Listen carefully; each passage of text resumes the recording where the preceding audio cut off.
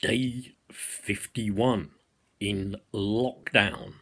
Can you imagine on Monday, which effectively would have been Bank Holiday Monday, seeing this headline from your Soaraway scum? Your dear old Soaraway scum, always there, always working hard for the British working man what would your Soaraway scum put on its front page? Well, let's start with We're Morally Bankrupt. Let's start with Happy Monday. Over 30,000 people dead. Granny will die soon anyway. Obviously, one of those kind of memes that I just have to collect and often pass on.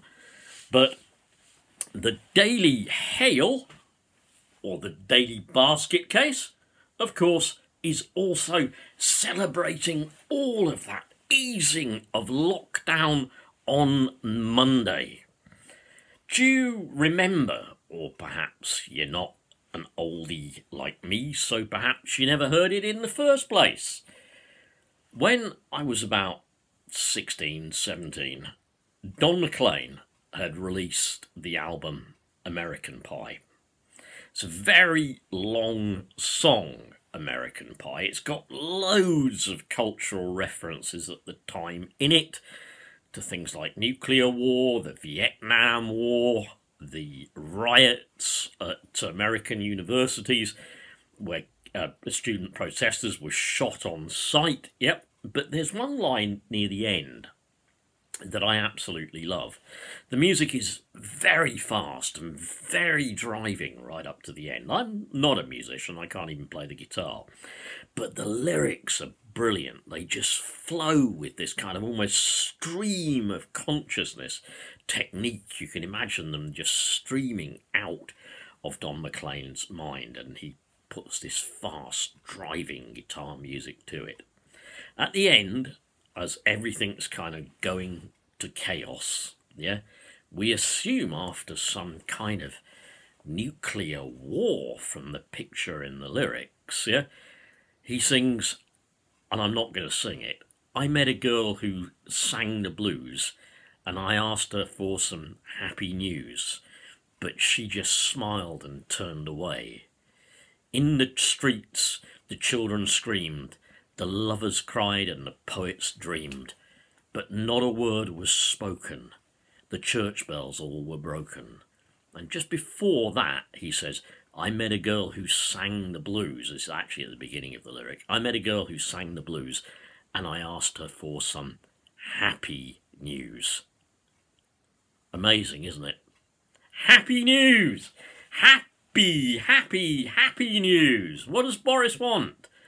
Boris wants happy news. Happy, happy, happy headlines. Happy, happy, happy Brits. People who are cheering. People who are going to be released. Can you imagine something on the scale of the Taglicious Hail, the Daily Mail? It's going to come up with, I'm sure, something like Britain's hostages to lockdown. Boris releases you. Boris turns key to release imprisoned Brexit, not Brexit, Boris turns key to release locked down Britain. Go! Go to work! Well, okay, supposed to be phased, right? Supposed to be phased. But on a day when the death toll, well, in care homes, yeah, they never got included at first, did they? They they never included them. Still rising. Yeah. In care homes. But hey, as it said on the mock up of the Soaraway scum, as it said on that mock up of your Soaraway Rupert Murdoch scum, but hey, Granny was going to die anyway, wasn't she? As Chunky Mark always puts it, yeah?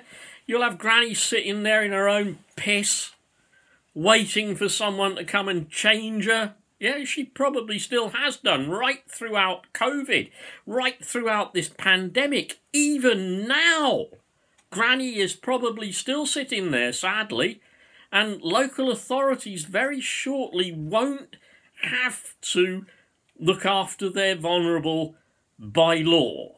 The, the, it's all been changed. They, they don't have a duty to visit Granny anymore. They can actually enact that now under the new law. Granny can just sit there. Local authorities can have no responsibility for her at all. Just enact that under the special regulations and we'll just leave her there to die. Yeah? And we'll be finding bodies of people where they live and have starved to death or have suffocated. Yep. Another one for you. As we start to, pardon me, undo lockdown, get Britain working again to make your rich controllers even richer. But as we start to do that, yeah, remember another failure of these bastards in government. We send out for all that PPE from Turkey, and they interview the twat who is my Tory MP Brandon Lewis for Great Yarmouth, and an interviewer says to him, "You know when when you've tried, people have offered you the stuff from um, our own manufacturers in Great Britain. You know when they've when they've done that, you've checked it all out and you've said no, no, or you've checked some of it out and you said no, no, no, can't use it, not to the right standard, don't want it. So." You know that stuff that we just got from Turkey that we made such a big fuss about, yeah? The RAF sent a Hercules over or whatever to pick it up, or two Herculeses, yeah? Um, so that we can't now use. It's not safe. It's not to our standards. And he makes some burbling excuse or whatever. And she said, Well, wouldn't you check it first? And he burbles on and comes up with another bloody excuse, right? So when the um, infection rate goes up again, as obviously it's going to, especially when that second wave comes crashing over, yeah, as that second wave hits, yeah, what's going to happen to our nurses and our doctors um, who are going to be hopefully caring for those patients, yeah? Because obviously some of the first wave are probably now dead, so as they're dead, that might have emptied some might have emptied some beds. Who knows? Yeah? But are they going to be getting proper PPE? Yeah. Oh, and testing, another one we must always celebrate. Missing your target again, Mr. One Night in Wangkok. Missed it again, didn't we? Can the PM apologise for you missing that target? Can the PM please apologise? Can we say we're really sorry? Yeah? Seems to me the whole thing has been a total bloody failure. Tories have lied, and yeah, absolutely, Tories have lied, and people have died, and they're still dying. Nurses and doctors as frontline staff in care homes, in hospitals, our ambulance personnel, everybody involved on the front line. Many of them have died because they've not been properly protected. Your friends, your relatives, your elderly and sick in care homes, the people who have to care for them, who want to care for them, they continue to die. And Boris says, well, it's getting better. No, it's not getting better. I think the reason to start easing is Boris is being screamed at. Absolutely screamed at by every single billionaire corporate controller he's got that in the end run this country. They're screaming at him. Our profits are through the floor. Our companies are going to fold up. We might even have to.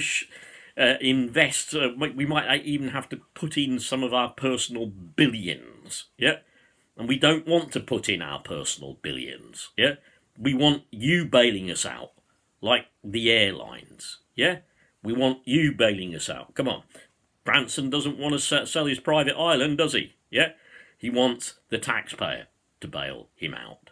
Yeah, too soon, too early the second wave hasn't even hit yet. Believe me, it will.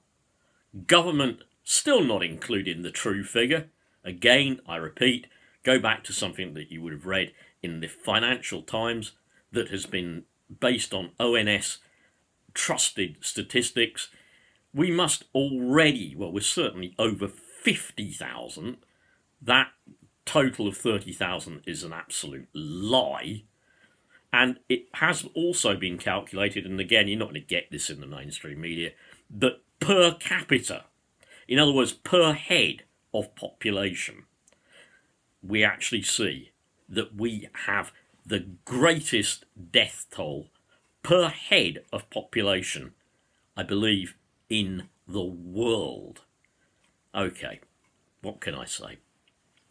Just listen out on Sunday, folks, and once again, after Sunday and it comes sending your kids back to school, you're going to send yours back first? I really need to know. Bye.